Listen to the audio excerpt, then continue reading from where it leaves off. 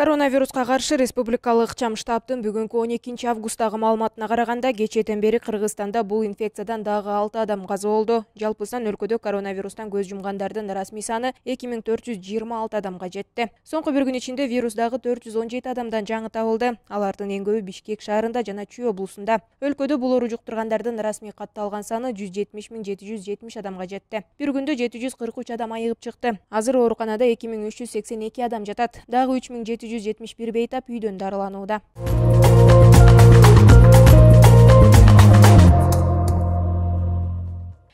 кыргызстанда быйыл жаңы окуу жылы адаттагыдай биринчи сентябрда эмес эки жума кечирээк он бешинчи сентябрда башталмай болду бул тууралуу чечимге министрлер кабинетинин төрагасы улукбек марипов кол койгондугун он экинчи августта маалымдалды өкмөт мындай чечимин кадимки окуу тартибине эпидемиологиялык абалга жараша бара бара өтүп билим берүүнүн сапатын камсыз кылуу максатында барып жаткандыгын мугалимдердин айлыгы жана окуу процессине терс таасири болбой тургандыгын билдирди ошону менен катар коронавируска каршы эмдөөдөн баардык тийиштүү кызматкерлер өтө электик айтылды. Буга чейин билим берүү жана илим министрлиги дээрлик эки жыл жабык турган мамлекеттик мектептер менен бала бакчалар быйыл жаңы окуу жылына кадимки тартипте иштөөсүн уланта баштаарын кызматкерлердин жетимиш пайызынан ашыгы вакцина алгандыгын билдирген